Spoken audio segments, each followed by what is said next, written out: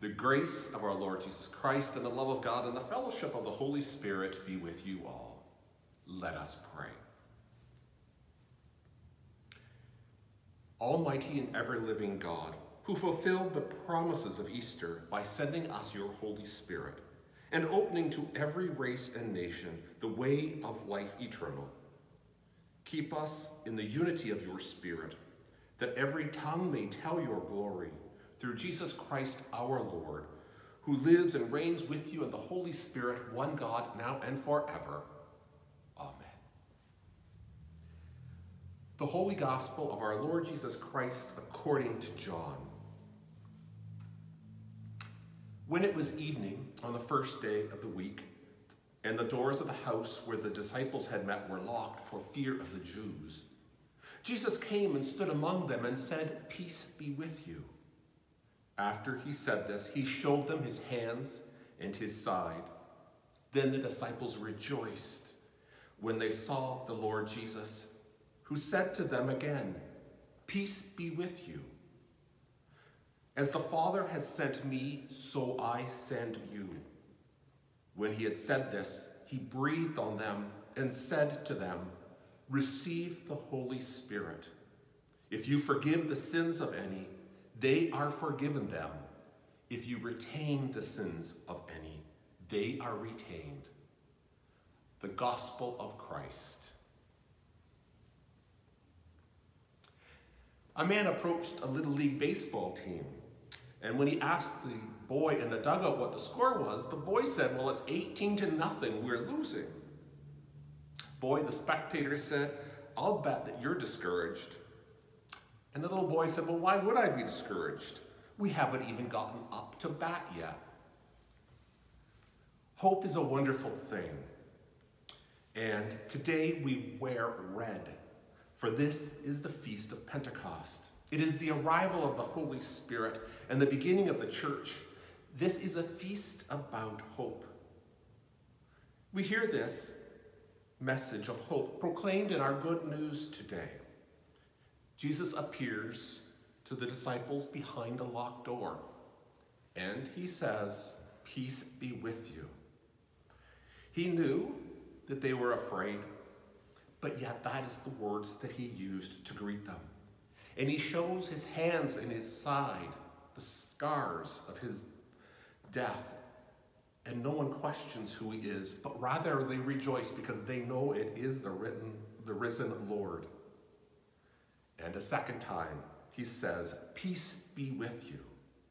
And then he does something strange. He breathes on them. But why? To answer this question, we must go to two stories of the Old Testament.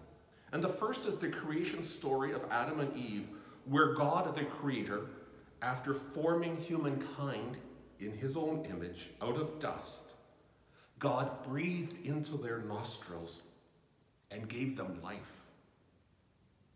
There's also another famous scripture story. That is where in Ezekiel, while the Jews are in exile and ravaged by their enemies, God says to Ezekiel, Can these bones live?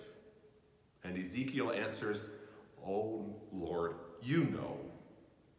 And God says to Ezekiel, Prophesy to these bones and say to them, O dry bones, hear the word of the Lord.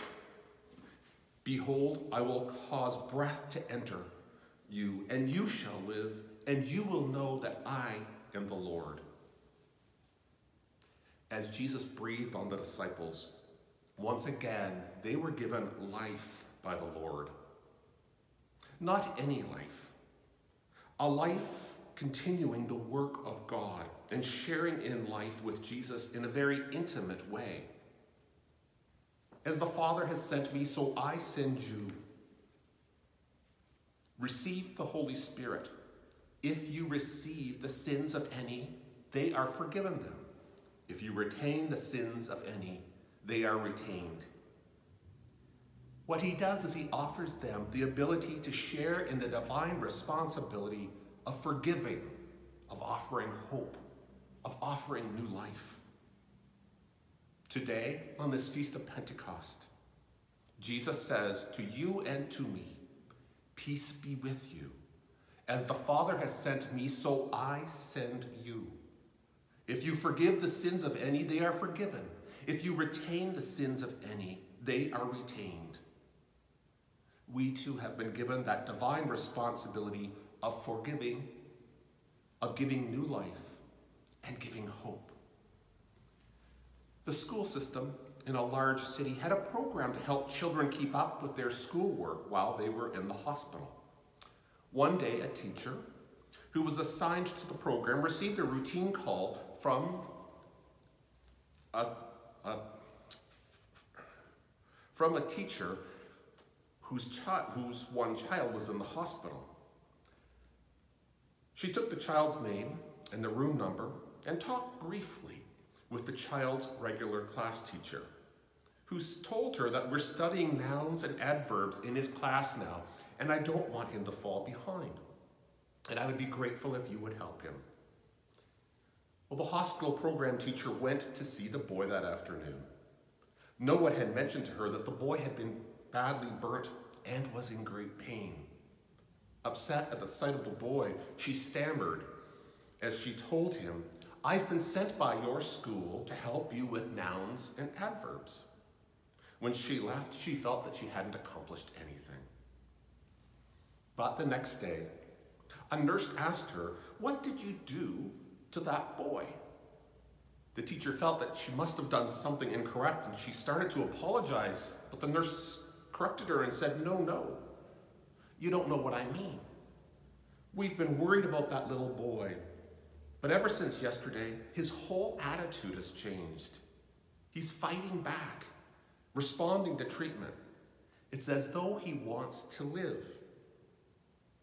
Two weeks later, the boy exclaimed that he had completely given up hope until the teacher arrived. Everything changed when he came to a simple realization, and he expressed it in this way. They wouldn't send a teacher to work on noun and adverbs with a dying boy, would they? What this, does this mean for us today as we celebrate Pentecost as Christians and as church. As Christians, we are reminded that we are not alone, that the Holy Spirit is with us and will be our advocate and will guide us, nurture us, and lead us. As church, we are the same church today that received the advocate, the Holy Spirit, through the disciples. We as church are called to proclaim the good news, the message of hope, to a world that cries out for hope, to prophesy to those who have not heard the life-giving word of God, who have not heard or been introduced to the gospel, to dream and bring change and hope to our world, to carry forward the message that no one is alone, that God is with them, and most importantly, to forgive, to share in the divine of that wonderful and sometimes difficult life-giving action. Our challenge as Christians and as church is to go preach the good news to a world that needs hope as much as it has in any time of history. Let us now continue our time of prayer with Joseph and the prayers of the people in our chapel.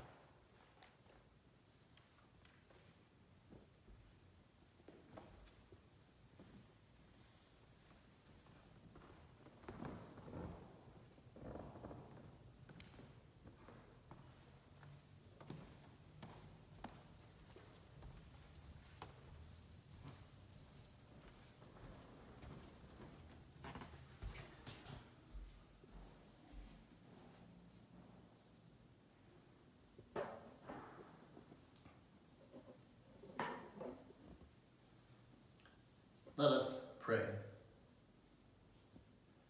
We begin our prayers this day by giving thanks for the people of St. John's, for our members, friends, and supporters. We give thanks for their prayers and for their financial support in these challenging and uncertain times.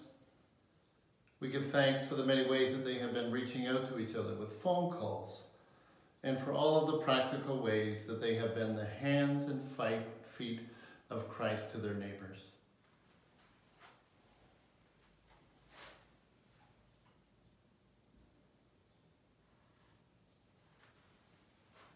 We pray for those who've asked for our prayers in particular. For Peter Dent, Kenneth Johnson, Jimmy Curler, John Churchill, Ken and Brian Shoesmith, Patricia Vickery, Valerie Cameron, Peggy Morris, Mary Aslin, and the McTaggart family. We give thanks today for the safe birth of Isabella Maria Rose, granddaughter of Dan and Oriel Prouse of our parish, and daughter to Emily and Chris. We pray also for those who've died, remembering especially Keith, Ollie McTaggart, Ross, Grant, and Edward Hall. We pray for all in our hearts and minds at this time that God's healing would be made known in body, mind, and spirit.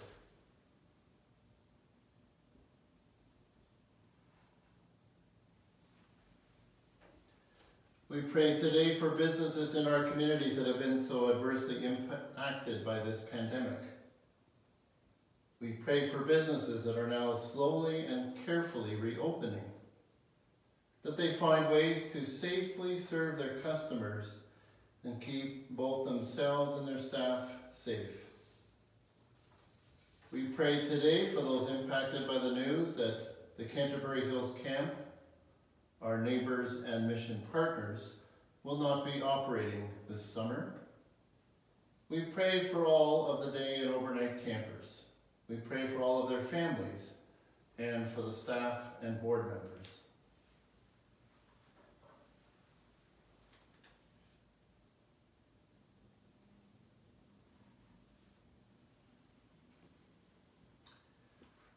We now offer and pray our special litany, inviting the presence and power of the Holy Spirit on this great feast of Pentecost. Come, Holy Spirit, Creator, and renew the face of the earth. Come, Holy Spirit, Counselor, and touch our lips that we might proclaim your word. Come, Holy Spirit, power from on high, make us agents of peace and ministers of wholeness. Come, Holy Spirit, breath of God, give life to the dry bones of this exiled age, and make us a living people, holy and free. Come, Holy Spirit, wisdom and truth, strengthen us in the risk of faith.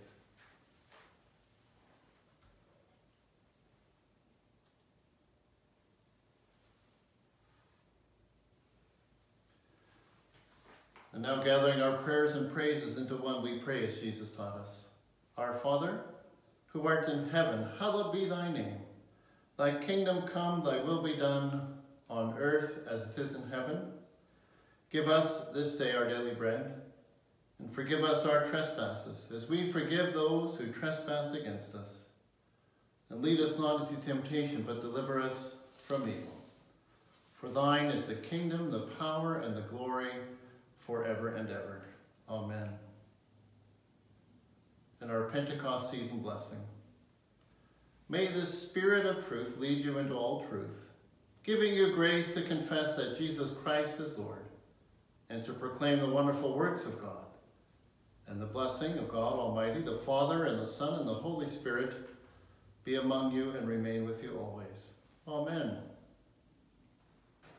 Thank you once again for being with us in this way. It's our hope to be able to share something similar each week. So do please send us prayer requests and we will be honored to share with them during our candle lighting. Go forth now into the world, rejoicing in the power of the Holy Spirit. Thanks be to God. Amen.